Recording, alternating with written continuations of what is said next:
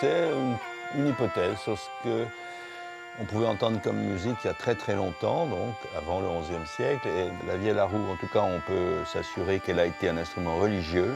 Après, on dit toujours généralement que le- le- la vielle à roue va quitter les, les- les monastères et va gagner les tripots. J'ai rencontré l'instrument vielle dans un château d'Auvergne, bon. et puis je l'ai entendu euh, à la radio. euh,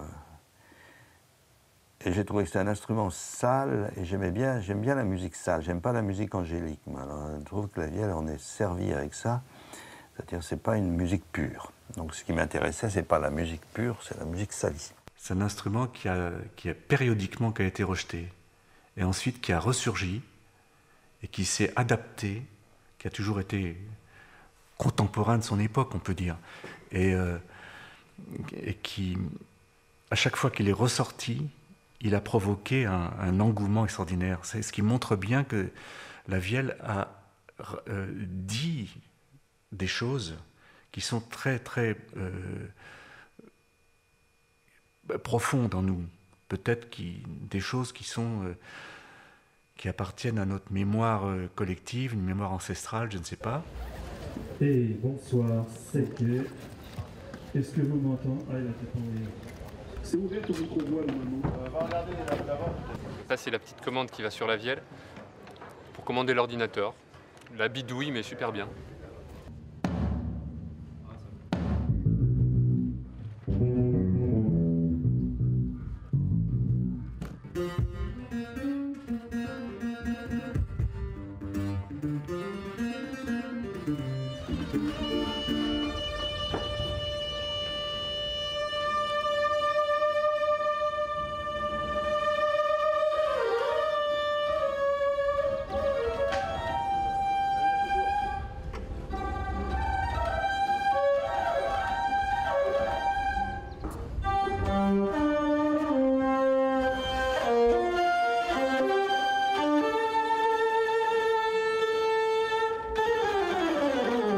no chão?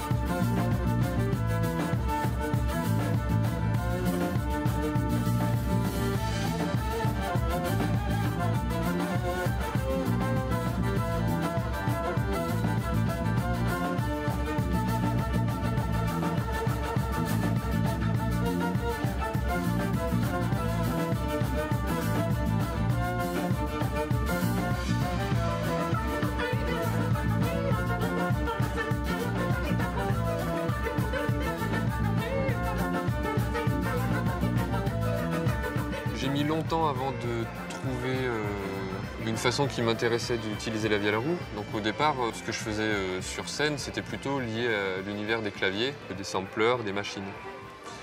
Donc c'est simplement à partir de 2003 vraiment qu'on a commencé à travailler avec Richard d'Antiquarks.